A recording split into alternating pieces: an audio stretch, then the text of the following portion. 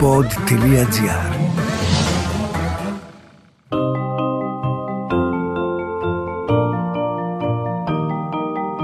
Τι κάνουν οι συγγραφείς όταν δεν γράφουν βιβλία, πού συναντούν τους ήρωές τους; Ο Βενιαμίν Φραγκλίνος είχε πει πως ο συγγραφέας είτε γράφει κάτι που αξίζει να διαβαστεί, είτε κάνει κάτι που αξίζει να γραφτεί. Ας ανακαλύψουμε μαζί τον άνθρωπο πίσω από το βιβλίο στο podcast «Συγγραφής εκτός βιβλίων» με την Κυριακή Μπεϊόγλου.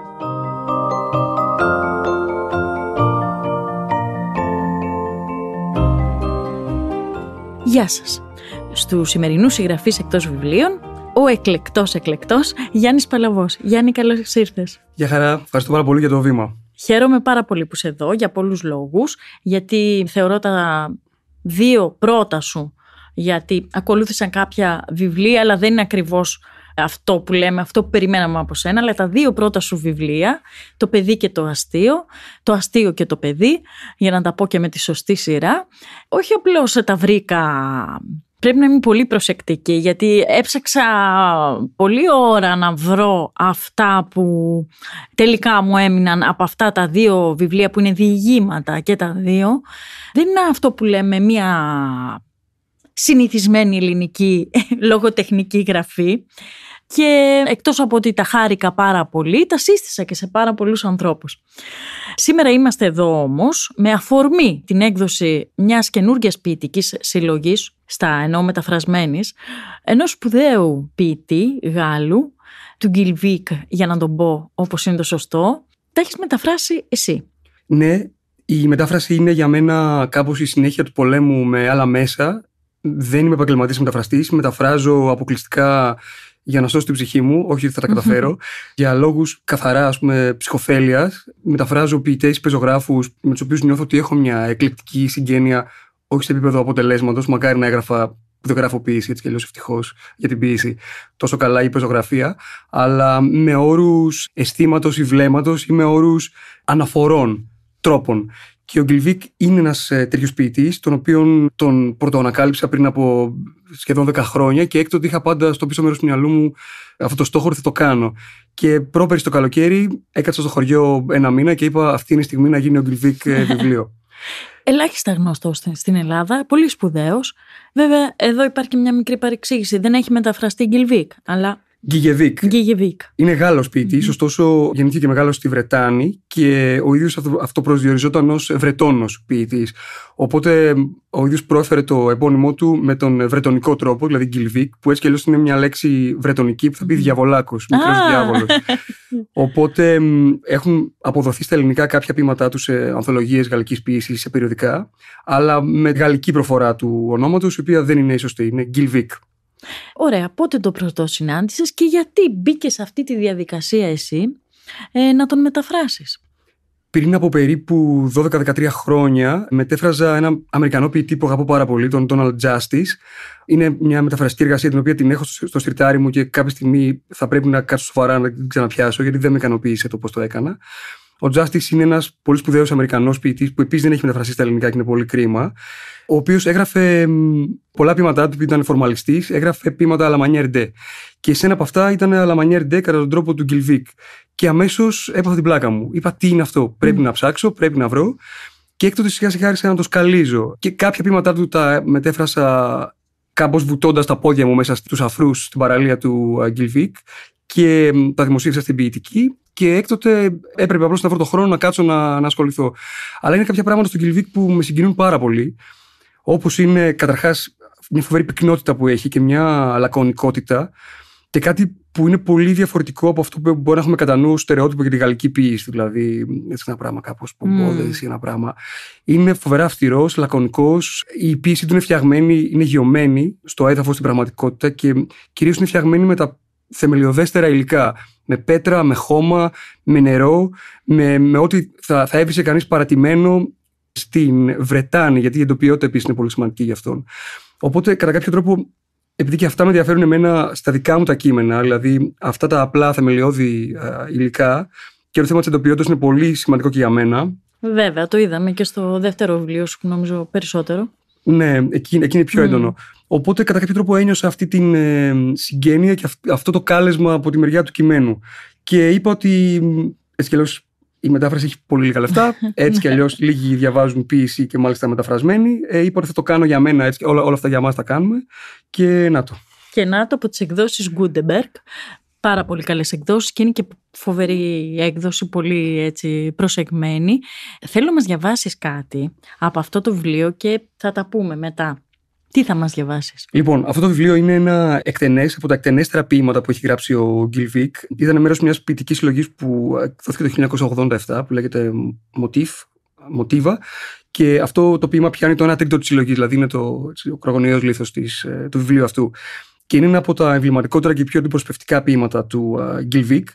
Είναι ένας μονόλογος της θάλασσας, της θάλασσας της ε, Βρετάνης, δηλαδή του Ατλαντικού ωκεανού, που εδώ ίσως θυμόμαστε και τη δική μας μυθολογημένη θάλασσα του Ελίτη ή του Σεφέρι, το Αιγαίο. Κάνει κάτι παρόμοιο ο Γκυλβίκ, μόνο που η δική του θάλασσα δεν έχει καμία σχέση με τον τρόπο. Βέβαια, αν σκεφτεί κανείς το Αιγαίο του Σεφέρι και το Αιγαίο του Ελίτη, είναι πολύ διαφορετικά. Υπάρχει και το Αιγαίο του Όμηρου. Και το, βέβαια. λοιπόν, ή των αρχαίων τραγικών. Δηλαδή, στο, στο Σεφέρι το Αιγαίο ανθίζει από νεκρούς, στον Ελίτη είναι τα νησιά με το Μίνιο και με το Φούμο. Εδώ ο Βόρειος Ατλαντικός είναι μια θάλασσα οξύθυμη, σκληρή, σε πολύ άσχημη σχέση με τον εαυτό της και με τη στεριά και όλο το ποίημα είναι ένας μονόλογος της θάλασσας, η οποία είναι μια θάλασσα μνησίκακη, στεναχωρημένη, που την ίδια στιγμή προσπαθεί με κάποιο τρόπο να βρει τον εαυτό της. Οπότε θα διαβάσω μερικά πολύ σύντομα ποιηματάκια. Πάμε. Λοιπόν, κατά τη γνώμη μου, να η διαφορά ανάμεσα στον πνιγμένο και τον κολυμβητή. Ο πνιγμένος έπαψε να με φοβάται. Τα κύματα τείνουν να αυτονομούνται, μα δεν αργούν να γυρίσουν. Αλλιώς, με αποχωρίζονται οριστικά. Εξατμίζονται. Πεθαίνουν. Όλα σβήνουν, φθήνουν, σκόνη θα γίνουν. Δεν θα απομείνουν. Εκτός από μένα. Κανονικά λένε. Μα τι μπορεί κανονικό να λέγεται σε έναν κόσμο που υπάρχω εγώ; Δεν τρέμω τη θύελα. Αγγίζει μόνο την επιφάνειά μου. Τρέμω στη σκέψη ότι θα συνεχίσω να ζω, ενώ παντού τριγύρω στη στεριά όλα γεννιούνται, μεγαλώνουν και πεθαίνουν ως και οι βράχοι. Και έτσι παντοτινά θα βλέπω τους άλλους να πεθαίνουν, δίχως να μου δοθεί καιρός να χτίσω μια φιλία που θα ζήσει αιώνια. Μ' αρέσει. Δεν το αρνούμε. Εντός μου να εισδύουν, να χύνονται τα νερά των ποταμών. Μου φέρνουν τη γεύση των εγκοσμίων. Είναι φορές που βαθιά μέσα μου γλυκνίζω τον εαυτό μου γλυκά, ώρα πολύ, ώσπου μονάχη μου επιθυμία είναι να πάψω πια και να ξεκουραστώ. Εκπλήσωμαι που παρόλα όσα ξέρω, μόνο ότι γνωρίζω τον όγκο μου, το βάρος, τη δύναμή μου να αντιστέκομαι, νιώθω κάποτε ευάλωτη, ανήμπορη, μπρος ένα αγκάθι, έτοιμο να με τρυπήσει. Να πούμε ότι έχει τον τίτλο «Η θάλασσα». Δεν είπαμε τον τίτλο, ε, μιλάμε για αυτόν. Τι ξέρουμε για τον Γκυλβίκ, τι ξέρεις μάλλον, γιατί εμείς δεν ξέρουμε πολλά. Ξέρουμε ότι είναι ένας πολύ βραβευμένος λογοτέχνης ποιητής, ε, έχει πάρει σπουδαία βραβεία αλλά τι ξέρουμε γι' αυτόν, για την προσωπικότητα και τη ζωή του. Ο Γκυλβί γεννήθηκε μεγάλο στη Βρετάνη, ο γόνος μιας πολύ φτωχής οικογένειας. Ο πατέρας του ήταν ναυτικός και η μητέρα του μοδίστρα.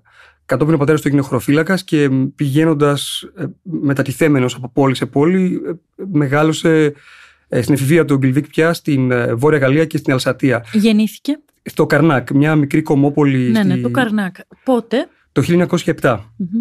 Και στο Καρνάκ αυτό για το οποίο είναι γνωστό το Καρνάκι είναι ότι εκεί υπάρχει ένα από τα μεγαλύτερα συμπλέγματα μεγαλήθων, με νύρ δηλαδή, που τα ξέρουμε και από ναι, τον ναι, ναι. 3.000 έτσι, μεγάληθοι που τον επηρέασαν πάρα πολύ και τον κάπως έτσι γονιμοποίησαν το φαντασιακό του. Ε, βέβαια, ο τόπος εκεί είναι μοναδικός. Οπότε για αυτόν δύο πράγματα είναι πολύ σημαντικά για τον Γκυλβίκ. Πρώτον, η εντοπιότητα, όλη αυτή η γοητεία που το άσκησε, το, το τοπίο της Βρετάνης και η μεγάληθη. Και το άλλο είναι η γλώσσα. Γιατί μεγάλωσε ακούγοντας γύρω του βρετονικά, αλεμανικά και βαλονικά. Οπότε η γαλλική του ήταν μια ξένη γλώσσα στην πραγματικότητα. Ήταν ένας ξένος μέσα στην ίδια τη γλώσσα και στην ίδια την πατρίδα. Και γι' αυτό και ο ίδιος αργότερα τόνιζε πολύ την ε, βρετανική του, βρετονική του, με συγχωρείτε, έτσι, καταγωγή, καταγωγή ναι. και ταυτότητα. Και επίσης η ποίηση που έγραψε είναι πολύ διαφορετική από τον υπεριαλισμό που ήταν ε, δημοφιλέστατος σε εκείνη την εποχή, ήταν στον αντίποδο του υπεριαλισμού και μαζί με τον Φρανσίς Πόνς που τον ξέρουμε. Ε, βέβαια. Από τη Ιστορία των πραγμάτων. Όχι, δεν θυμάμαι Από, τώρα. το, Ναι, α, από το- από την φωνή των Τη πραγμάτων. φωνή των πραγμάτων. Εξαιρετικός και πολύ αγαπημένος. Και θαυμάσια μετάφραση του Λιοντάκη. Βέβαια. Οπότε αυτοί οι δυο, δηλαδή ο Πόνς και ο Γκυλβίκ, που είχαν έτσι και μια σχέση λίγο αντιπαλότητας μεταξύ τους, όπω συμβαίνει πολύ συχνά δυστυχώς, αυτός ο χώρος των λογοτεχνών, κάπως έδωσαν νέο αέρα στη γαλλική ποιήση, ε, στον αντίποδα του υπεριαλισμού. Οπότε ο Γκυλβίκ έγραφε, έγραφε αυτά τα πολύ έτσι γιωμένα, απλά, λακωνικά ποίηματα, σαν χαϊκού και επίσης έχει σημασία ότι όλο αυτό το έτσι, μυστηριακό στοιχείο που είχαν οι μεγάληθοι, κατά κάποιο τρόπο έχει και μια πλάγια έτσι, σύνδεση με την ανα- ανατολική φιλοσοφία. Δηλαδή, αν σας αρέσει η Φερρυπίν ο Τουφού ή ο Λιτά Υπό, θα δείτε εδώ αυτό το φιλοσοφικό έτσι, στοχασμό που έχουν εκείνοι οι ποιητές με τα απλούστερα υλικά και στον Κελβίκ, αλλά στην άλλη άκρη του κόσμου. Ναι, ναι. Όμως ο, ο τόπος εκεί έχει γεννήσει τόσους μύθους και τόσο έχει τέτοια ιστορία που ναι, δεν θα μπορούσε κα- κάποιος ε, ευαίσθητος ε, δέκτης όλων αυτών να μην το χρησιμοποιήσει. Εγώ τι είδα μέσα στα ποίηματά του τη θάλασσα να έχει οντότητα, να συνδιαλέγεται μαζί της, να τη χρησιμοποιεί με έναν τρόπο, ε, δεν είναι το στοιχείο που υπάρχει στη φύση, είναι ένα εντός του θέμα. Δηλαδή, η, η θάλασσα στην πραγματικότητα είναι ο καθένας μας. Αυτό που Μμμ. το έχω βάλει και στην εισαγωγή είναι αυτός ο στίχος του Σαββόπουλου, η κοινή μας τελική ανωνυμία. Είναι η ανωνυμία του καθενός, προσωποποιημένη δια, δια της θάλασσας.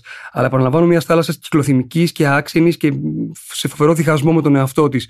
Αλλά έτσι δεν είμαστε όλοι. Μμ. Και όλο αυτό το μουντό και συνεφιασμένο τοπίο της Βρετάνης ε, αποτυπώνεται σε αυτή τη θάλασσα, η οποία παλεύει πάρα, πάρα πολύ να βρει τη θέση της σε έναν κόσμο στον οποίο νιώθει ότι δεν ανήκει. Αλλά αυτή η έκεντρη συνθήκη είναι του καθενός και της καθεμιάς. Και γι' αυτό νομίζω ότι μ, μπορεί να μας αγγίξει εμάς, παρότι η δική μας θάλασσα είναι τελείως διαφορετική από αυτή. Ωστόσο, στο βάθο βάθο, όλες οι θάλασσες, όπως και όλα τα νερά του κόσμου, κα- έτσι, υπογείως, ας πούμε, επικοινωνούν. Είμαστε το ίδιο. Ε, και για, για αυτό που είπες Κυριακή για το α, έτσι, μυστηριακό στοιχείο το οποίο έχει εκεί η περιοχή ο ίδιος το έλεγε ότι μ, έχω γεννηθεί στον τόπο του ιερού και είμαι ένας άνθρωπος προϊστορικός, ζω στην προϊστορία ναι, μου το καταλαβαίνει κανείς και διαβάζοντάς τον αυτό.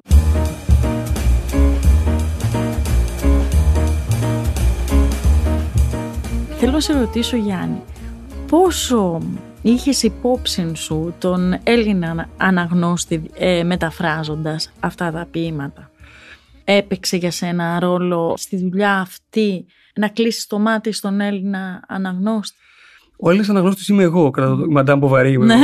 ε, με την έννοια ότι εγώ πρώτα απ' όλα, πέρα από συγγραφέας ή από οτιδήποτε, είμαι αναγνώστης. Και μ, ο λόγος που μετέφρασα αυτό το κείμενο, όπως και ό,τι μεταφράζω, είναι επειδή εγώ, σαν αναγνώστης, νιώθω ότι μου λείπει στη γλώσσα μου. Όλα αυτά γίνονται και τη γλώσσα, έτσι. Αυτός που σκεφτόμουν στην πραγματικότητα ήταν ο, συγγρα- ο ποιητής πρώτα απ' όλα και μετά εγώ, αν εγώ νιώθω ότι αυτό το πράγμα λειτουργεί ως ποιητικός λόγος στα ελληνικά. Και η μεγάλη μου αγωνία ήταν να, να λειτουργεί από τη μια και από την άλλη να κάνω αυτό που έκανε ο Γκυλβίκ. Δηλαδή τα πείματά του είναι, δεν είναι μόνο καμωμένα από τα θεμελι- θεμελιωδέστερα υλικά της φύσης, αλλά και της γλώσσας. Δηλαδή είναι παντού μονοσύλλαβες λέξεις, παντού δυσύλλαβες λέξεις. Δεν υπάρχουν επίθετα, είναι όλα ρήματα, αντωνυμίε και ουσιαστικά.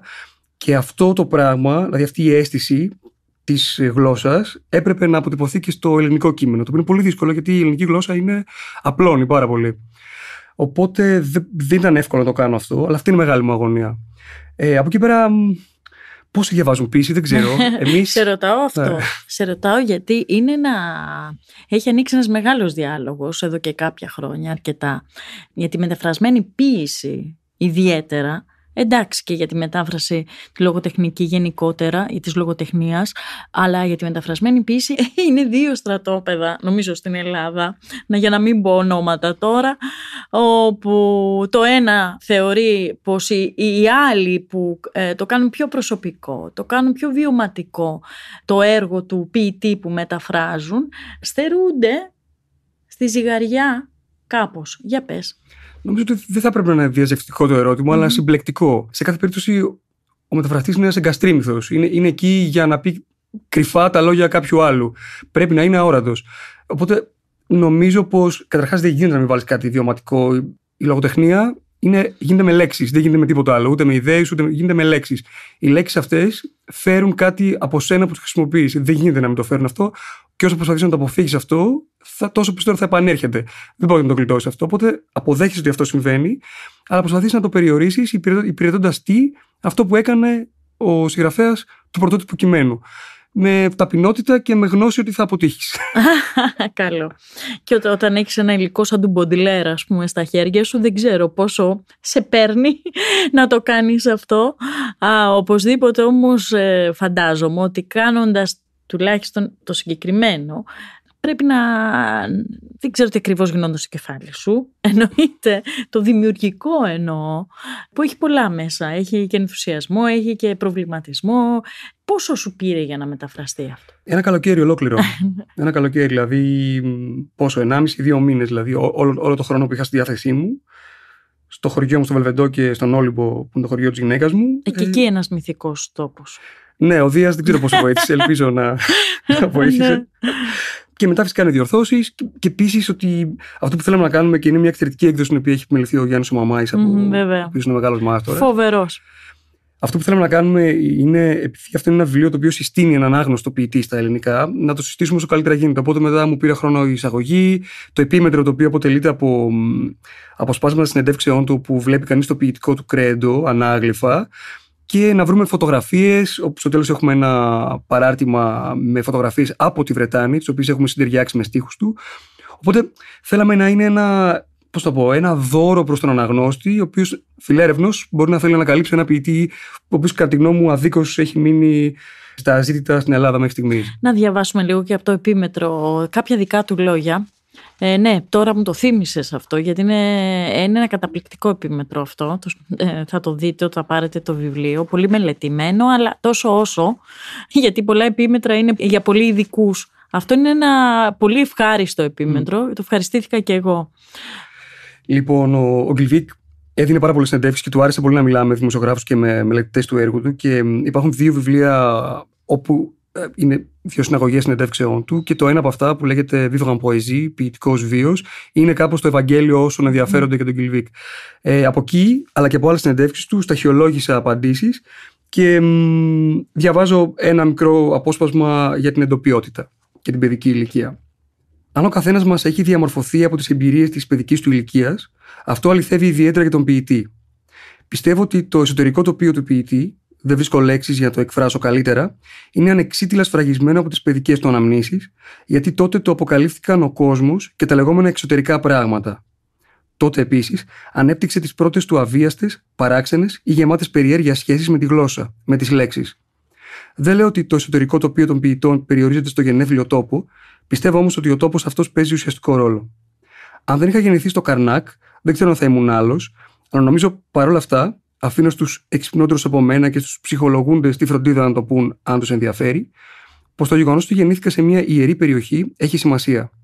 Ότι γεννήθηκα στην περιοχή των Μενίρ, του μεγαλυθικού κόσμου, των Μενίρ που ανήκουν σε έναν πολιτισμό για τον οποίο δεν ξέρουμε τίποτα και που χρονολογείται πολύ πριν από τους Κέλτες. Βρισκόμαστε στην καρδιά του αγνώστου, του μυστηρίου, στην καρδιά του ιερού. Το έχω ξαναπεί, είμαι προϊστορικός άνθρωπος. Ζω στην προϊστορία.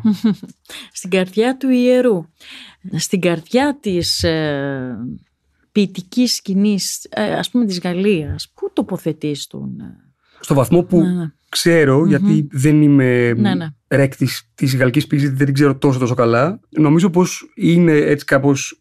Υπάρχει αυτή η συνένεση ότι είναι από τους κορυφαίους Γάλλους ποιητές του 20ου αιώνα, ο οποίος έχει αυτό το πολύ μεγάλο θάρρος να πάει τελείως κόντρα, και αυτό είναι πολύ μεγάλο δίδαγμα για όλους εμάς που γράφουμε, τελείως κόντρα στην εποχή του. Όλοι γράφουν υπεριαλιστικά. Ο ίδιος έλεγε ότι ο υπεριαλισμό για μένα είναι ένα ε, κίνημα το οποίο μένει στην επιφάνεια.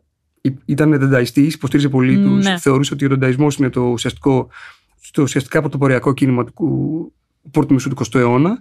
Και αρκετά γρήγορα, δηλαδή ήδη από την δεκαετία του 60, ο Γκυλβίκ ήταν ένας ε, καταξιωμένος ποιητής, πήρε όλα τα βραβεία που θα μπορούσε να πάρει, μεταφράστηκε σε 50 γλώσσες. Οπότε δεν νομίζω ότι η θέση του ε, αφισβητείται από κανένα στην γαλλική ποιήση και σίγουρα όχι από μένα. Ε, καλά, εννοείται. Αυτό το, το δείχνει έμπρακα. Άλλωστε, να πάμε λίγο και σε σένα. Διότι μας άφησες με πολύ όρεξη στο δεύτερο βιβλίο. Πολύ νέος, πολύ γρήγορα πήρες ένα σπουδαίο βραβείο, το κρατικό βραβείο διηγήματος για το δεύτερο βιβλίο, το παιδί. Και περιμένουμε, περιμένουμε το επόμενο. Τι κάνεις Γιάννη, εκτός από το να μεταφράζεις άλλους; Μεταφράζω. Έχω ένα μικρό παιδί τώρα που είναι 1,5, οπότε δεν προλαβαίνω να κάνω σχεδόν τίποτα. Και δουλεύω βέβαια επίσης. Το πρωί πάω στη δουλειά. Γράφω Έχω στο σιρτάρι μου διηγήματα τα οποία δεν μου αρέσουν. Αλλά δεν βιάζομαι. Δηλαδή δεν είναι ότι θα χάσει βρετιά βελόνι άμα εγώ αργήσω να βγάλω βιβλίο. Θα βγάλω όταν νιώσω ότι υπάρχουν κείμενα τα οποία με, με συγκινούν. Αλλά κάπως τα τελευταία χρόνια το ενδιαφέρον μου έχει μετατοπιστεί πιο πολύ στο να ψάχνουμε λίγο παραπάνω με την ιστορία, στο να ψάχνουμε λίγο παραπάνω με το δοκιμιακό λόγο, να πειραματίζουμε με αυτό δηλαδή. Θα δούμε, δεν έχω καταλήξει το διήγημα. Μ' αρέσει, ψιλογράφω, αλλά ακόμα είναι στα, στα πολύ σπάργανα το βιβλίο και δεν βιάζομαι, δεν πειράζει. Μπήκες όμως και στην ιστορία του graphic novel και κάνατε πολύ σπουδαία δουλειά με τον Πέτρου και, και αυτό μας άφησε με πολύ όρεξη επίσης. Αυτό έγινε λόγω του Θανάση, και, mm, του Θανάση Πέτρου ναι, και του ναι, Τάζου Ζαφυριάδη ναι. που είναι πολύ στενοί φίλοι εδώ και πάρα πολλά χρόνια. Και οι καλύτεροι που έχουμε τουλάχιστον σε αυτό. Ε, και ο Θανάσης και ο Τάσος είναι, καταρχάς είναι δύο διανοούμενοι. Δηλαδή είναι, είναι δύο άνθρωποι που. μ, Ξέρετε, υπάρχει όλη αυτή η προκατάληψη με τα κόμικ στην Ελλάδα που μόνο τα τελευταία χρόνια αρχίζει και Ναι. αλλάζει. Έχεις δίκιο. Και αν θέλετε, νομίζω ότι και ακόμα και ο όρο graphic novel είναι ένας όρο που έχουμε, που έχουμε επινοήσει για να μην τα λέμε Ναι, comics. Ξέρεις Γιατί- τι, έχεις απόλυτο δίκιο, γιατί στις περιγραφές δι- διάβασα και το είπα αυθόρμητα το graphic novel, ενώ θα μπορούσε να είναι comics, απλά comics, έχεις απόλυτο δίκιο. Είναι comics εδώ και 120 χρόνια, ας πούμε 130 χρόνια. Απλώς τώρα τα λέμε graphic novel και πρέπει να τα εξευγενήσουμε με, κα- με κάποιο τρόπο. Αλλά υπάρχει αυτή η παρεξήγηση ότι δεν είναι αξιόλογη μορφή τέχνης. Πολύ λάθος φυσικά. Ε, Μια τέχνη με τη δική της γραμματική, το δικό της συντακτικό που έχει δώσει αριστουργήματα. Και ο Θανάσης και ο Τάσος είναι άνθρωποι με φοβερή καλλιέργεια που διακονούν αυτή την τέχνη και το κάνουν εξαιρετικά. Και το γραγρού που κάναμε Ναι. οι τρεις μας, ας πούμε, ήταν πολύ ωραία. Κοντέψαμε να τσακωθούμε βέβαια σε κάποια φάση, γιατί ήμουν σε κάποια φάση ήθελα πολύ να το πάω από τη δική μου κατεύθυνση, αλλά πριτάνευσε η λογική. Εντάξει, δημιουργική τσακωμία αυτή πρέπει να υπάρχουν. Δεν ξέρω πόσο, μήπως το γεγονός ότι αργείς οφείλεται και στο βραβείο, μήπως το βραβείο έβαλες τον πύχη ψηλά και νιώθεις πως το επόμενο θέλεις να είναι κάτι που θα είναι πολύ δυνατό. Οπωσδήποτε παίζει ρόλο αυτό το Ναι, πράγμα, αλλά ναι. κατά βάση αυτό παίζει ρόλο είναι ότι είμαι αυστηρός με τον εαυτό μου. Δηλαδή, και πώς να το πω, δεν θέλω να. Ποτέ δεν θα, θα δημοσίευα κάτι, οτιδήποτε, είτε ένα διήγημα, είτε μια μετάφραση, αν δεν ένιωθω ότι μπορώ να γυρίσω σε αυτό. Να ελπίζω τουλάχιστον βάσιμα ότι μπορώ να γυρίσω σε αυτό μετά από 20 χρόνια και να πω ναι, με, ως ένα βαθμό με εκπροσωπεί ακόμα. Δηλαδή, ντρέπομαι. Δηλαδή, την υπογραφή μου θέλω να τη βάζω κάπου που να νιώθω ότι μ, δεν την έβαλα δίκως, δεν βιάστηκα. Δηλαδή, αυτό ντρέπομαι. Έχω ένα- ένα αίσθημα τέτοιο. Θέλω να είναι καλό. Και όσο πάρει, δηλαδή, μακάρι να βγει κάτι μέσα σε μια εβδομάδα και να πω μ' αρέσει, κανένα πρόβλημα. Αλλά είμαι αργός, γενικά είμαι αργός. Γιατί ξέρεις τι γίνεται. Ε, ε, η, τα τελευταία χρόνια η επικαιρότητα, που εγώ τη θεωρώ φοβερή δεξαμενή για ένα λογοτέχνη, θα μου πεις εσύ τη γνώμη σου, μας έχει βομβαρδίσει με φοβερά ερεθίσματα που ε, θα μπορούσαν ας πούμε να σε προκαλέσουν. Η Φλάνερη Οκόνορ έλεγε ότι όποιος έχει περάσει τα 14 χρόνια του έχει όλο το υλικό που χρειάζεται για να γράψει ένα καταπληκτικό μυθιστόρημα. Α, σω- σωστά. Ε, και για- όχι μόνο η Φλάνερη ο Κόνορ. Η επικαιρότητα είναι κάτι το οποίο ε, φυσικά μπορεί να στροφοδοτήσει με, με ερεθίσματα, αλλά και σε μια καλύβα να ήσουν α, στα άγραφα, πάλι θα έχεις πάρα πολλά ερεθίσματα να γράψεις, αν μέσα σου είσαι γόνιμος. Ή αν μέσα σου αυτά τα ερεθίσματα ε, είσαι αρκετά ανοιχτός ώστε αυτά να σου ανοίξουν, να ανοίξουν την πόρτα λίγο παραπέρα και να πας στο μέσα δωμάτιο.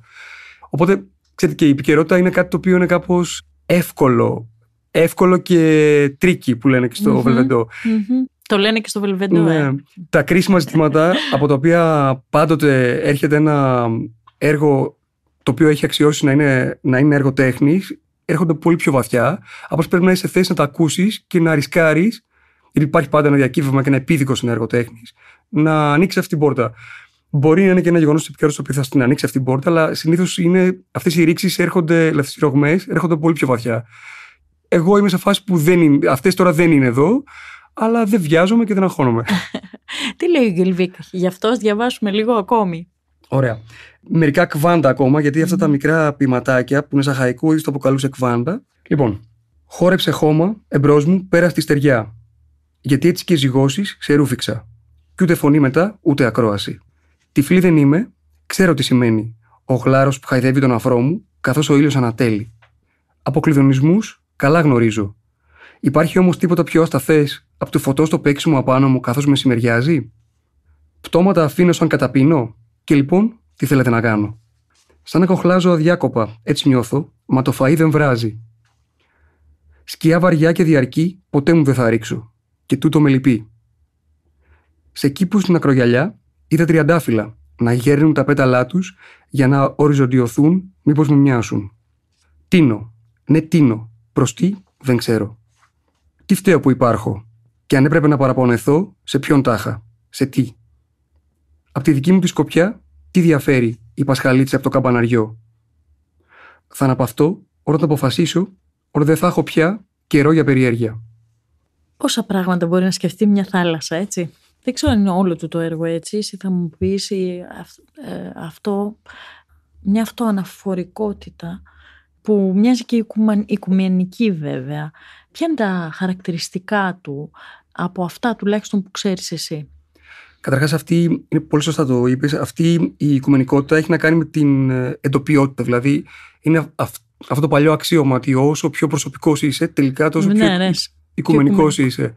Δηλαδή, ο Φόκλιν μπορεί να γράφει για ένα, μια κομμόπολη στο Μississippi, ναι. αλλά αφορά εσένα και 90-100 χρόνια ναι, μετά. Το είδαμε στο Βεσσαλόμ, Βεσσαλόμ. Είναι τρομερό αυτό που λες, ναι. Αλλά τα, τα χαρακτηριστικά του ως προς τον τρόπο του είναι μια άκρα οικονομία μέσων, φοβερή πυκνότητα και λακωνικότητα, αυστηρότητα, διάβια, τίποτα το διανομενίστικο, τίποτα.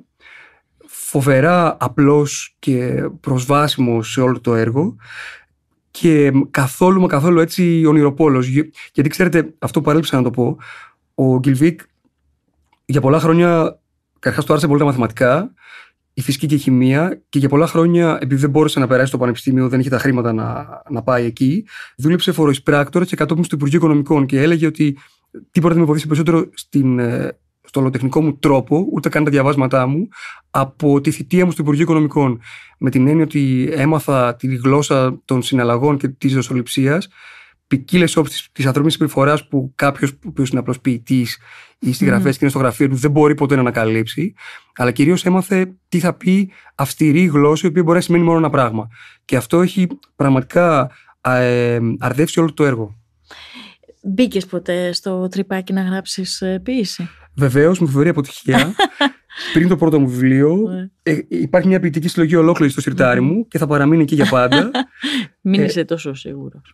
Ε, πριν από δύο μήνες κάναμε με το Μεταλόγια γίνεται την πρωτοβουλία του Παναγιώτου ναι. Ιωαννίδη ναι. στην Ελληνοαμερικανική Ένωση. Κάναμε μια βραδιά όπου μας τίμησε πολύ ο Παναγιώτης και όλη η ομάδα του Μεταλόγια, εμένα και την Αμάτα Μιχαλοπούλου, να διαβάσουμε πείματά μας και να μιλήσουμε για την ποίηση. Ήταν μια πολύ έτσι αμήχανη στιγμή και άβολη για μας. Αλλά ναι, μακάρι να μπορούσα να γράψω ποίηση Ακόμα και τώρα που και που προσπαθώ, αλλά δεν έχω ταλέντο, δηλαδή κακά τα ψέματα. Ναι. Εντάξει, αυτό δεν μπορείς να το πεις ακριβώς εσύ. Ίσως ε, έχεις άλλα στάνταρς. Ωστόσο, σκέφτομαι ότι αν υπάρχει κάποιο ποίημα εκεί μέσα που σε δυσκόλεψε περισσότερο στο να το αποδώσεις στα ελληνικά. Υπάρχουν κάποια αυτά τα μικρά κβάντα τα οποία είναι αρκετά κρυπτικά Κάτι που είναι κάπως σπάνιο για τον ίδιο τον Κιλφίγκ γιατί είναι πολύ έτσι διαυγή σε, σε όλα. Εκεί αυτοσχεδίασα, σκαρώτησα φίλους Γάλλους και Γαλλίδες, έκανα το σταυρό μου και ελπίζω ο αναγνώστης να μην το μετανιώσει. Το επόμενο μεταφραστικό στοίχημα ε, ποιο είναι; Θα ξανακάνουμε ένα Φόκνερ με την Γιώτα Πολύ, πολύ ωραία. Έχουμε κάνει δύο έτσι, εμβληματικά διηγήματα του Έχουμε Έχουμε τίτλο; Είμαστε τώρα με τη Γιώτα διαλέγουμε ποιο θα είναι αυτό. Μάλλον θα είναι το All the Dead Pilots, mm-hmm. Όλοι οι νεκροί πιλότοι, που είναι έτσι εμβληματικό κείμενο. Αλλά χαλαρά, γιατί έχουμε και αρκετή δουλειά στο γραφείο. δεν ξέρω. Ε, ναι, εντάξει. Εμείς ευχόμαστε να έχουμε κι άλλο δικό σου έργο πέρα από τον άλλον. Όποτε νομίζεις εσύ και κρίνεις ότι πρέπει να βγει. Θα ήθελα να τελειώσουμε αυτό το podcast με ένα ακόμη ποίημα του. Ωραία. Λοιπόν, μπορούμε να πάμε προς το τέλος της... Ε, ωραία. Μερικά ακόμα ακβάντα μέχρι το τέλος του, της, του podcast. Βλέπω στις ακρογιαλιές και στους γκρεμούς μάτια που με κοιτούν ηρωνικά. Αλλά γιατί, ποιος ο λόγος; Και ύστερα τι κάθονται και με κοιτούν; Δεν έχουν τίποτα καλύτερο να κάνουν; Μάλλον κοιτούν γιατί πιστεύουν πως το μέσα μου είναι απλούστερο από το δικό τους. Προσωπικά πιστεύω το αντίθετο. Αλλά παρακαλώ να γίνεις σαφές την περηφάνεια μου, πάει καιρός που την κατάπια. Εγώ απλώς υπάρχω. Υπάρχω, μα δεν σκέφτομαι. Βεβαίως, μπορεί κανείς να ονειρεύεται διαρκώς πως φεύγει για αλλού, λες και τα αλλού δεν είναι εδώ. Μπορεί κανείς επίσης να σκάψει. Σκάψε λοιπόν, εμπρός, το παρόν σου. Λες και οι κέλπιες ή οι σταγόνες μου μπορούν ποτέ να εξαντληθούν. Και τι σημασία έχει αν ό,τι βλέπουμε μπορεί ή δεν μπορεί να μετρηθεί. Όλα είναι το ίδιο. Όλα είναι κάτι άλλο. Ζήγησε το κάθε τι και ζήγησε τον εαυτό σου. Γιάννη, σε ευχαριστούμε πολύ. Και εγώ ευχαριστώ πολύ για την πρόσκληση.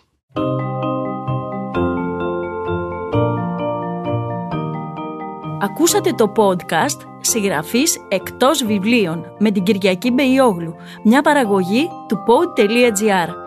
Αναζητήστε τα podcast που σας ενδιαφέρουν στο pod.gr, Spotify, Apple Podcast, Google Podcast και σε όποια άλλη εφαρμογή ακούτε podcast από το κινητό σας.